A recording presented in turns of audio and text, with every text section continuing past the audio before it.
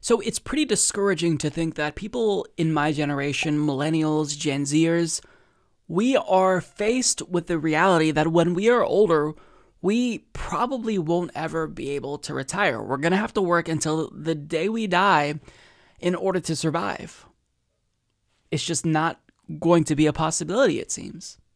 And, you know, there's a lot of people that share the same sentiment because a new poll released showed that almost 25% of people, nearly one in four people, they also think yeah, they're probably never going to be able to retire. I mean, the previous generation, they would dream about what they're going to do when they retire. You know, travel the world, get a boat and sail it, or just, you know, sit at home and watch Judge Judy reruns or whatever, you know, show they watch then. I don't know. But I mean, this is something that we're dealing with. Like, this is unique to our generation because we're reaching late stage capitalism where it nears its final conclusion. You know, it, it hollows out the state it corrodes democracy, and now it exploits people until the very day that they die. There's just no rest for them.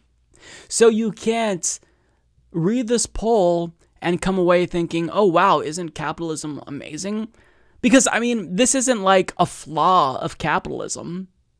This is a feature of capitalism, and you can try to fix it and course correct. That's what I think the New Deal did. But I mean, eventually, capitalism does what it always does exploits people to the point where, you know, they are commodified and their humanity is completely denied. So, a normal person who sees a poll like this, where one in four Americans nearly don't think they're ever going to be able to retire, you'd think, man, this really makes capitalism look bad. But if you're Fox News, the way that they covered it, completely hilarious. They actually tried to spin it. And rather than make it seem like people working until they die is a really bad thing, they tried to convince you that it's actually awesome. Not even kidding. Not even kidding. Let's watch.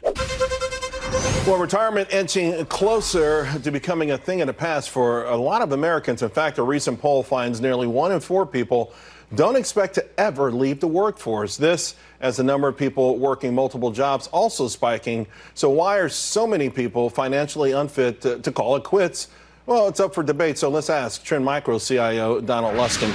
Uh, you know, these kind of polls are already always around, right? Uh, the Bankrate does some things and other folks, but it's always a, a, alarming. 32% uh, of people say they they retire before age 65, which might be unrealistic, but 23% said never. Is that worrisome for you, Donald?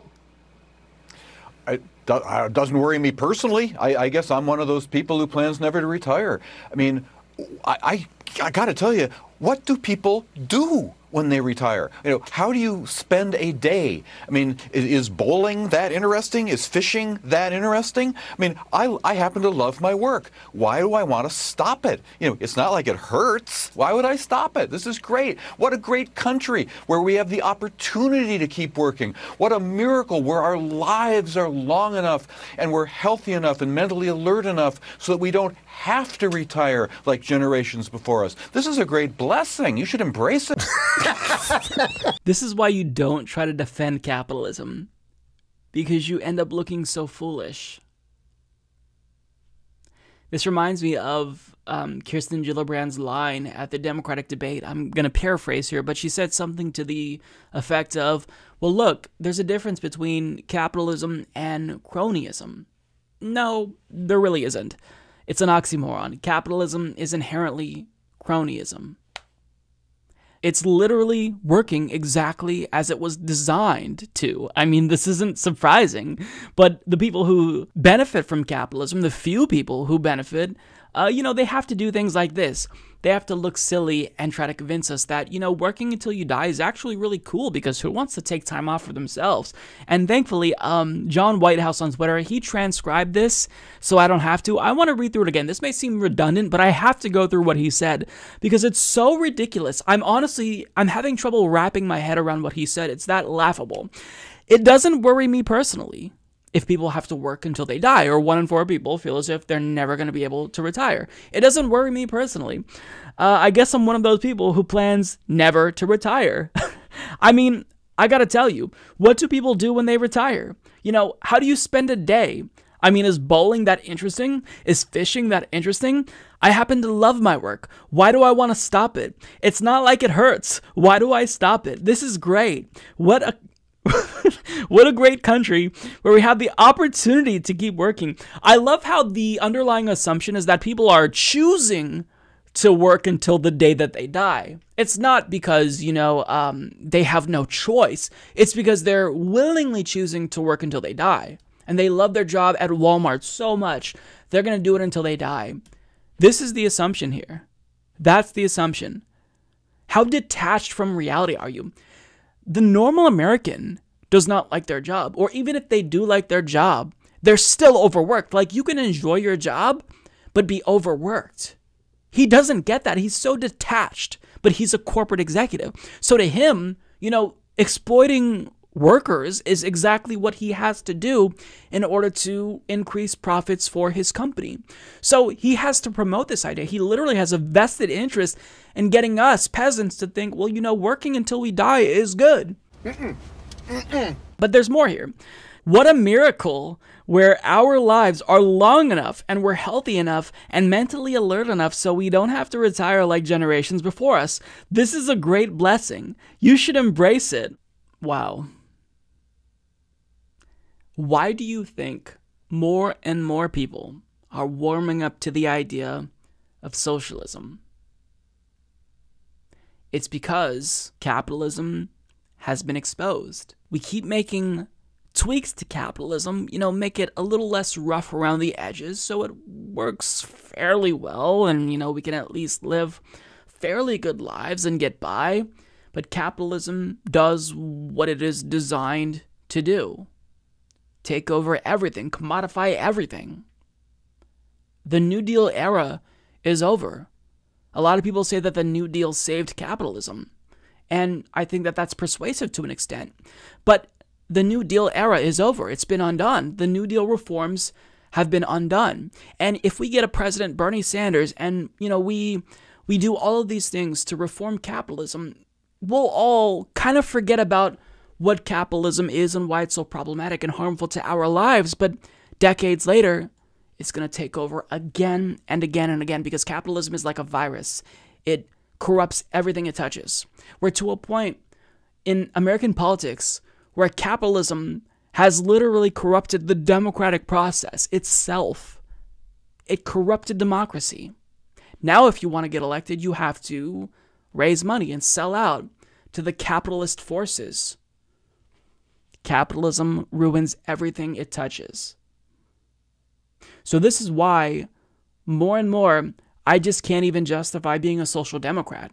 If you don't end the threat of capitalism and eliminate it entirely, then you're just going to be back to the same situation where every couple of generations we're going to have to reform capitalism, but it's only going to be a temporary, you know, period of reform until once again it takes over and corrupts everything it touches again.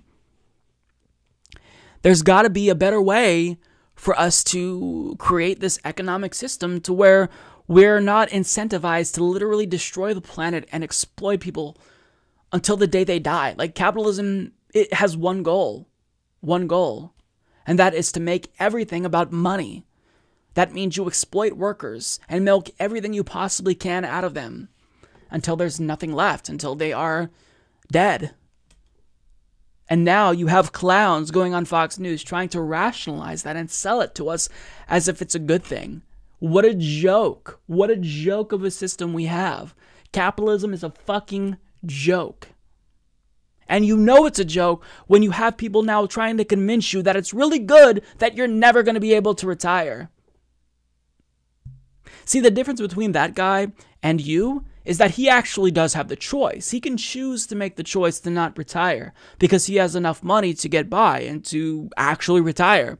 But you don't have a choice. You may like work, but uh, if you choose to retire someday, you may not have that chance. A lot of people don't believe that they're going to have that chance. And that's sad. Because our lives are short. So we shouldn't only be focusing on work and making money and getting exploited. We should be able to pursue our passions, travel, sculpt, I don't know, play video games, just do things that make us happy. Pet dogs. Our lives shouldn't just be driven by, you know, the need to increase money for our employer. It's not right. It's not fair. And I'm glad that people are finally starting to wake up to this and realize that it's the system. It's flawed. Capitalism is flawed. This clip is just, it's brilliant to me because it really shows how they're running out of arguments. They, they can't sell capitalism to young people anymore because this is what they have to resort to. They just look silly, and it's sad for them. You know, I feel bad for them because uh, good luck. You're not going to keep convincing people to be in favor of an economic system that is killing them and killing the planet. It's just it's not going to work. It's why people are moving away from capitalism and inching closer and closer towards socialism. It's because capitalism is really really fucking flawed and it doesn't work. It's a killer. You could support the Humanist Report at patreon.com slash humanist report. But trust me, I'd have way more supporters on Patreon if that was my podcast. Sad.